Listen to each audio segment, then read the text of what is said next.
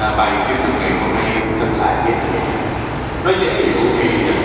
khi Chúa Giêsu dùng dụ ngôn người gieo nhau ở phần đất để nói đến hạt giống được gieo trên các mặt đất khác nhau. Nhưng cuối bài kinh mừng thì Chúa đã giải thích một cách rõ ràng thế nào là lời Chúa được gieo ở trên vệ đường trên đá sỏi trong bụi gai và trong mảnh đất tốt. Chắc chắn ai trong chúng ta cũng hiểu điều mà Chúa muốn nói ngày hôm nay, đó chính là lời của Chúa. Khi nói đến lời thì chúng ta thường nghĩ đến mối tương quan của chúng ta, tương quan qua lại bằng lời nói. Ở quê con, có bà chị em đi kiếm khuyên đó là đi cầm miệng ở trước kia thì con không hiểu chúng ta nói nhau bằng như thế nào? Lâu lâu con có về, thì có một chàng đối diện nhà mà sinh viên mẹ con thì hỏi anh được mấy câu khỏe không ba đang làm gì? Mẹ đang làm gì? Thế lại không biết nói gì với anh hết. Nhưng khi những người bị khiếm khuyết như vậy, ba trẻ nó ngồi lại với nhau, thì con thấy rằng họ nói chuyện với nhau còn hơn cả những người có bị người bình thường như vậy, để chúng ta hiểu rằng khi chúng ta nói những lời nó không chỉ là một cái lời nói được thốt ra ở cửa miệng của mình nhưng nó còn là phải giúp ta được tâm tư tình cảm cử chỉ điệu bộ ánh mắt khi chúng ta thì phải hiểu cái lời của Chúa, chúng ta phải hiểu như vậy. Lời của Chúa ở đây chúng ta cần phải hiểu đó chính là lời của nội tâm lời của mỗi lòng khi chúng ta hiểu được như thế thì chúng ta sẽ giải thích được tại sao lời Chúa chúng ta vẫn nghe hàng ngày thậm chí có những người vẫn nghe hàng ngày và tại sao lời Chúa lại không thấm nhận vào trong đời sống của mình mà chúng ta chỉ nghe được lời Chúa ở trong thánh lễ khi bước ra khỏi nhà thờ, thì lời Chúa không còn đọc lại cho mình. Thưa là vì chúng ta chỉ nghe lời Chúa chỉ bằng một cái lỗ tai mà chúng ta không hiểu được lời Chúa nói với chúng ta bằng tất cả những tâm tư, tình cảm ẩn sâu ở bên trong. Nếu chúng ta đọc lại lịch sử cứu độ thì chúng ta hiểu được điều đó. Dòng dài theo dòng lịch sử cứu độ, thì Thiên Chúa đâu chỉ nói là lời, đâu có chỉ bằng thiên kinh mà Thiên Chúa dùng nhiều cách thế để nói với chúng ta. Ví dụ, qua các tiên tri, qua các ngôn sứ qua các biên cố rồi sau mới qua kinh thánh và tìm điểm của sự cao nhất mà thánh Phaolô cho chúng ta biết. Đó là đến thời sau hết, Thiên Chúa sẽ nói với chúng ta qua người con duy nhất của Ngài. Đó chính là Chúa Giêsu Kitô. Như vậy, khi chúng ta phải hiểu lời Chúa ngày là tất cả những tâm tư, tình cảm và tình yêu của Thiên Chúa mà Thiên Chúa dành cho chúng ta. Để chúng ta có thể hiểu và nghe được lời Chúa với những cái như vậy, thì chúng ta cần phải có một đời sống nội tâm để chúng ta lắng nghe.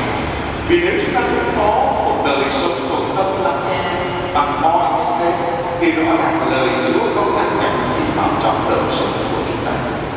Khi chúng ta nghe được như thế thì rõ ràng khi chúng ta chưa đi vào được mối tương quan mật thiết với Chúa, thì rõ ràng lời Chúa chỉ được nghe bằng tai mà nó không biến chuyển thành ký ức để chúng ta ghi nhớ những lời đó và đem ra thực hành vì chúng ta chưa có được một mối tương quan mật thiết với Chúa, nên những lời chúng ta nghe được đọc ở trong kia nhưng nó lại không chuyển đến đến con tim tình cảm của chúng ta vì chúng ta không có mối tương quan mật thiết với Chúa, nên những gì chúng ta nghe bằng con tim, nó đã không biến nào thành hành động. Như vậy, để chúng ta có thể nghe được lời Chúa,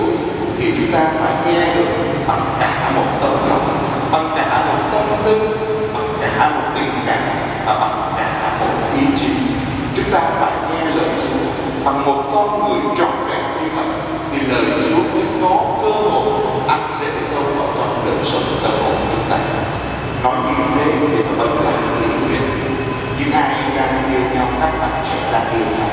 thì các bạn đã hiểu được điều này. Có những lúc, các bạn ở bên cạnh nhau,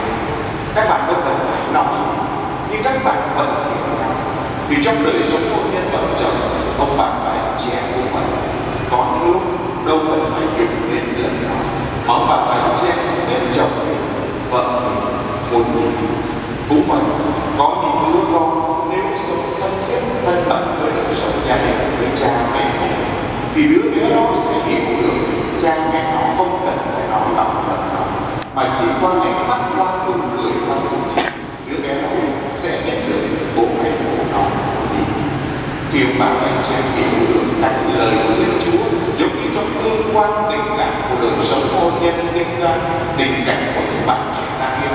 và tương quan tình cảm của con cái và bố mẹ dành cho nhau, thì đó là nếu chúng ta so sánh đời sống đức tin đối chiếu lại đời sống đức tin của mình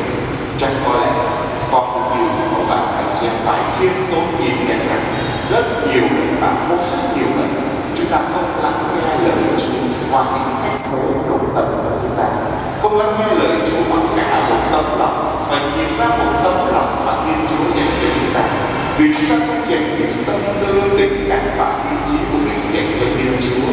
nên nhiều lúc chúng ta lại những mảnh đất về đường nhiều lúc chúng ta lại những mảnh đất sỏi và nhiều lúc chúng ta lại những mảnh đất bị tham sân si ở đời bóp nghẹt lời Chúa. Khi nhận ra được điều đó, khi nhận ra lời Chúa luôn luôn là tất cả những gì mà Thiên Chúa dành cho chúng ta, thì chúng ta hãy đón nhận điều đó. Lời Chúa luôn yêu thương đổ xuống như sương đổ xuống. Nó không bao giờ chậm lại. Nhưng quan trọng chúng ta phải làm mảnh lên tốt để cho xương và cơ thông nhuận cho đó. Khi thông nhuận được điều đó, thì chính chúng ta phải trở thành một cái